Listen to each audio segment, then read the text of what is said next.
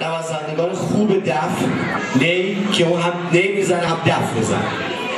اما آقای استاد سهیل داوودی که خواهش می‌کنم که تشبیه بیارن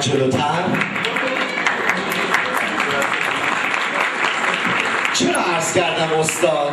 میگن به سن و سالی نداره استاد باید پیر باشه. نه. ورزشکارا آقای حسین رضازاده مثلا افتخار آفرینی می‌کنه.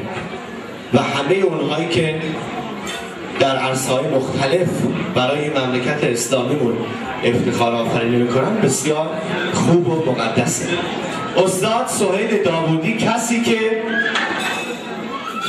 در کشورهای فرانسه اسپانیا و انگلستان پرچم ایران رو برد بالا. یه دست خوشگل افتخارش می‌زنید آقا تذکر میدن که آلمان هم بود همه جانم گشتی دیگه. تکنوازی دف.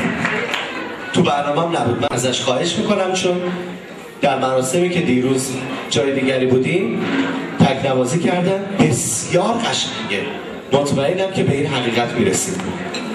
آقای سویل داوودی در خدمت